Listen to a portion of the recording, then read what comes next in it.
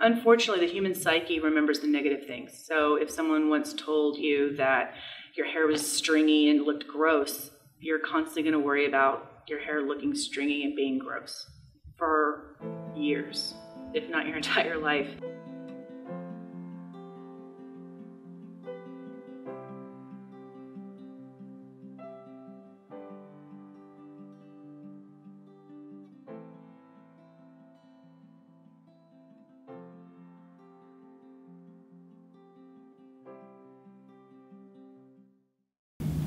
This project is very much in aligned with my philosophy for life. Um, I, I mean, I'm almost 40 years old, and I have the have had or have the same insecurity as every other woman out there. I want to, you know, inspire women to care less what people think. It's putting a spotlight on a woman's beauty without directly focusing on all the extra that goes with it, like just being natural, being you, not just um, all of the makeup and all of the hairspray and everything that goes with it, but actually a spotlight on a woman and her beautiful features that she has that she that are important. That's that's what makes us. Everyone sees something a little bit different and has a different perspective on person. So it's fun to see what different people um, see when they look through their lens and can capture. Will I be able to um, make someone else feel beautiful or, you know, just make them feel like I captured them?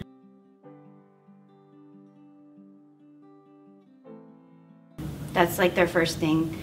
Can you cover this up? Can you contour my nose? Can you make it look like I have cheekbones? Um, there's always something uh, that they that everyone apologizes for. I always hear the negative comments. I mean, that's usually what people pick out what they they tend to lean towards. Like, they, my hair is too thin, or I wish it was thicker, or um, just all the negative that comes with it. But when I look at somebody's hair, I always see the positive.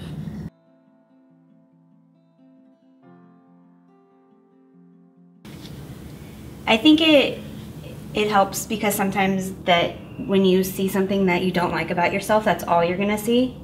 And once you kind of hide that one little flaw, you can notice, oh, you know, I might have had like my nose might bu- might bug me, but now you notice how pretty your eyes are with um, a little bit of shadow on.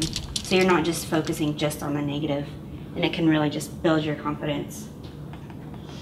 Um, I mean, huge thing. You got your hair on your head. People look at it. I mean, other than your your face, it's probably the second thing that gets looked at, I guess. They usually love it. Spin around and you got that bright smile on with their eyes all lit up. It's it's fun. I love to style hair. It enhances a woman's beauty. It makes them feel more powerful and energetic and beautiful, even though they already are. But it gives them that extra confidence boost that they need. And I like to be allowed to give that to somebody. I like to see women feel really confident and pretty when they're when they're done, um, and not because they're they feel made up, but because they actually look how they see themselves.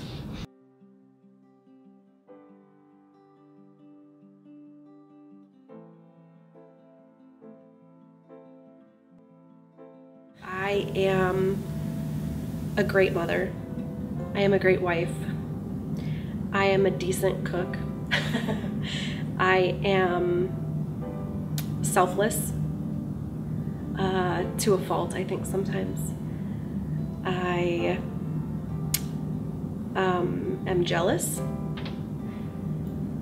I am stubborn. I am a yeller. I am a I'm confident at times. Um, I'm weak in many, and I'm trying to be strong. I see a mom first. Uh, that's bittersweet sometimes. I see somebody who who needs the other half here. Uh, as time goes on with this deployment, I feel like I'm losing a little bit more of myself uh, because my husband's gone, and I just really feel like I need that back right now. Um, and I'm I'm striving right now to see me, but right now I'm seeing uh, a person who needs her husband and a person who needs to be the best mom that she possibly can because they're missing their father right now. But at the same time, I I'm striving to see me without my children and without my husband, and right now that's so difficult. I feel like I dress for other people rather than myself. And just here recently have I started to dress for myself and what I feel good in. I've always tried to keep up with the times and um, dress certain ways, and I've never really felt that confidence. Uh, but now that I'm dressing for my body type and uh, what I think looks good on me, I'm definitely more confident uh, just recently.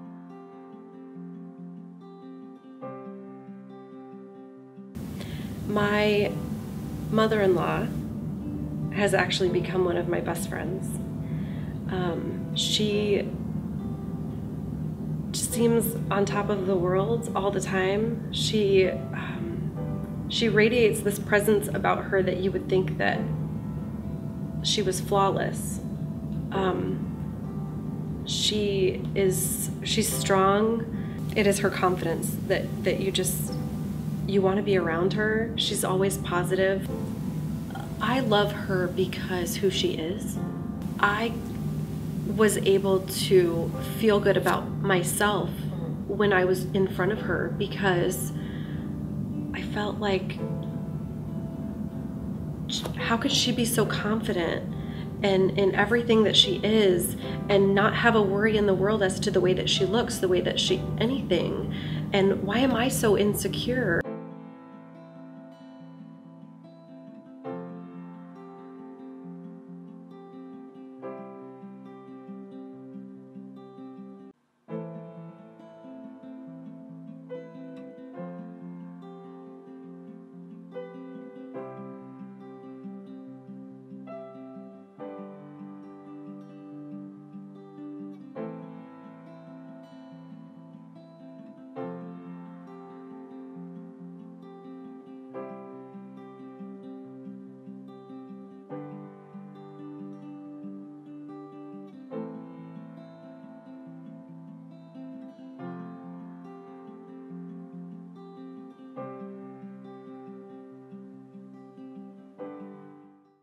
Capture mostly families, um, so I think I capture, you know, um, the connection between mothers and babies and um, dads and their children, and um, I like to think that um, I capture something special in every photo shoot that they have forever.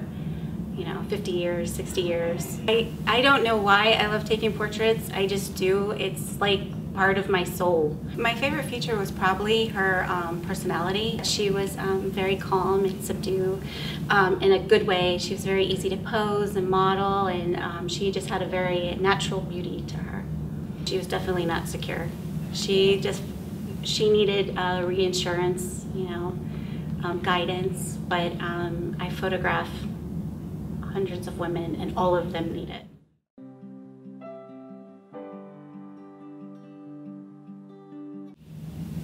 Think when it comes to why I find photography to be important is that you know you can only live so long in a memory you know who you are and and and what you um, what you express with your your your being can only last but so long in a memory I guess the challenge for me is trying to capture who someone is in their portrait.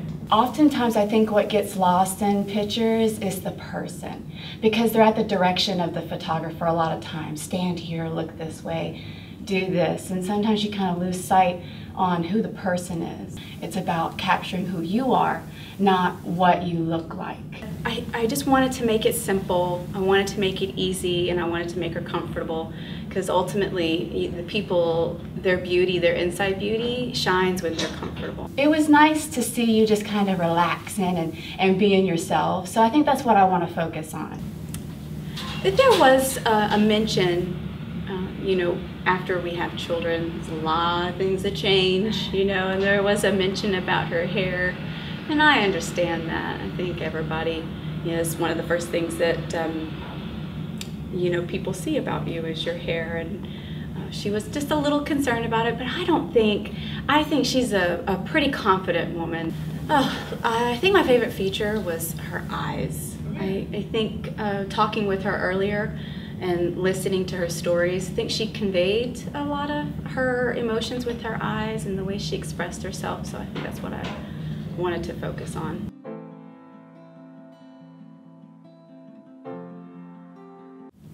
Uh, photography is incredibly important. Um, I have felt that way as long as I can remember. I got my first camera when I was seven.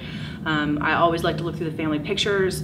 Uh, it's and um, I come from a long line of people who appreciate history and antiques, and so I just think that I was it's kind of in my DNA. One of the things that women do that is the worst thing they can do um, for everyone is they don't take time for themselves. They don't do things for themselves. They don't pamper themselves.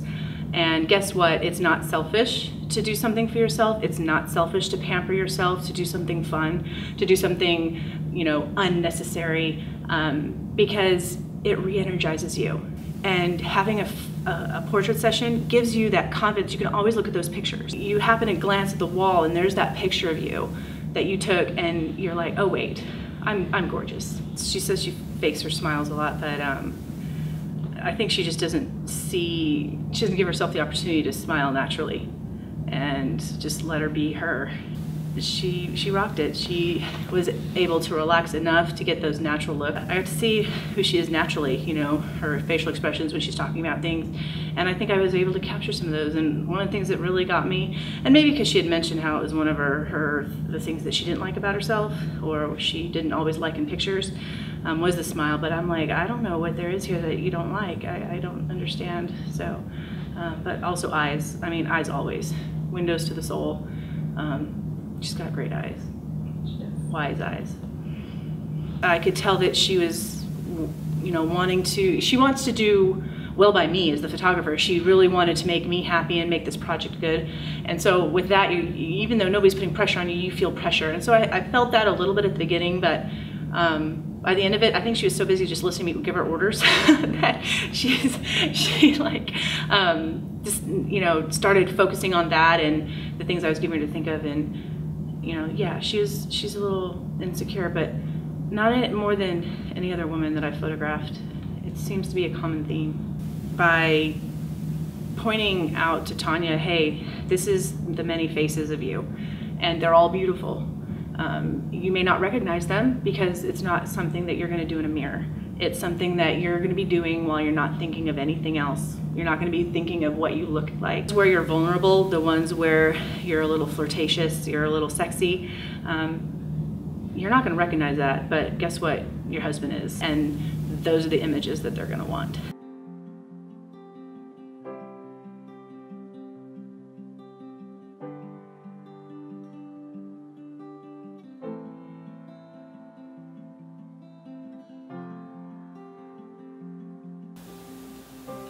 What were some of your thoughts as you're watching the footage of you being on camera and some of the comments the photographers were making? I didn't think that I looked as bad as I felt that I looked. It was very eye-opening. Most of the comments were about my eyes. And so now maybe I have a little bit more appreciation for my eyes. Um, so how do you think this project was successful. Yes. If it helped any one person to be more confident, to feel that they were good enough, to feel like they were beautiful even when they didn't feel like they were beautiful, that's me. It worked. It worked. I feel confident. I feel uh, maybe when I don't even have makeup on, that it's okay. If this is me. Sometimes you think, oh my gosh, my hair, my hair, and no one's even looking at your hair. They're looking at you and who you are and what story you're telling, and they're listening to your words, and they're not judging you on your appearance, going beyond looks. They, they try to get into who you are.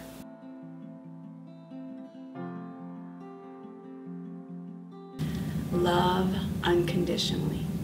That's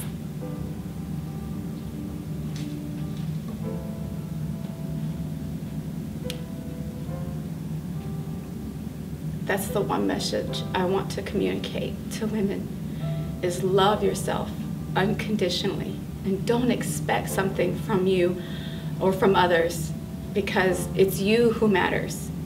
All your flaws, all your beauties, you know, your curves, your angles, you know, the freckles that you don't want in the spots that they're in. Just love yourself unconditionally. Is there anything you want to add? Did I cover the questions? Oh my goodness. to to go with what you have. You're a gorgeous, beautiful woman, and your heart obviously emits that. And run with it. Be who you are because you're gorgeous. I like it. Thank you. Is that enough model? Yes. Don't be so hard on yourself. You know, just, just give yourself a break. You're beautiful, be confident, and care less what people think. Get over yourself and, um, and love yourself, love life, and get that confidence you need to be able to do that. I, I do think we downgrade a lot, and we should just accept the compliment and know that somebody's noticing the great things about you and not picking out your flaws the way that you do.